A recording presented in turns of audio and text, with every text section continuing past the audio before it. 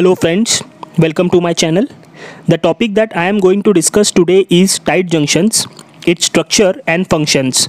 But before going into the details of tight junctions, I want you all to understand the detailed description of cell junctions. I have already uploaded the video in my YouTube channel. I have mentioned the link of the video in the description. So please go through it. It will help you to understand this topic better.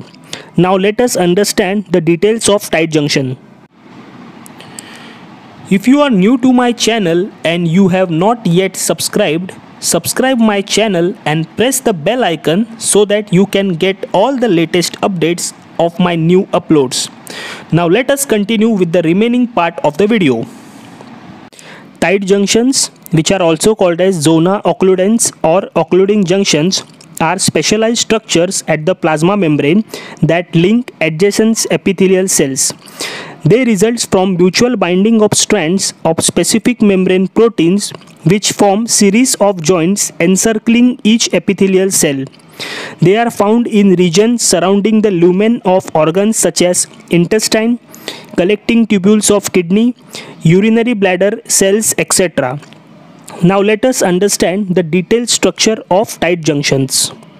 Structure of tight junctions.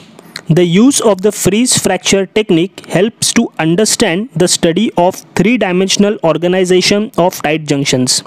In 1982, Pinto da Silva and Kachar reported the presence of network of ridges in the tight junction by freeze fracture technique. These ridges on the cytoplasmic half of the membrane have complementary grooves in the outer half.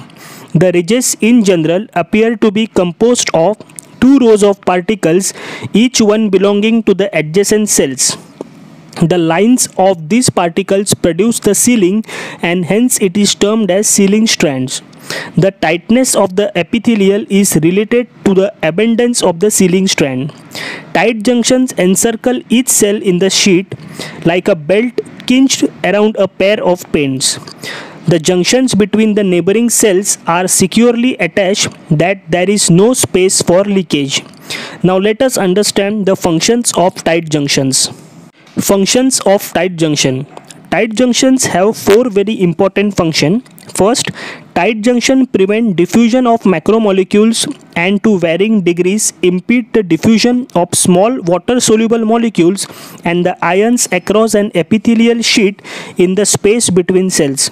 Second, they also maintain the polarity of epithelial cells by preventing the diffusion of membrane proteins and glycolipids between apical and the basolateral regions of plasma membrane.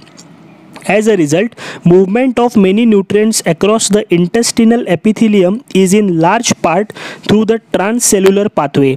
Third, in this pathway, specific transport proteins in apical membrane import small molecules from the intestinal lumen to the cell. Other transport proteins located in the basolateral membrane then export these molecules into the extracellular space. Fourth, in short, tight junction ensures directional movement of materials into the body.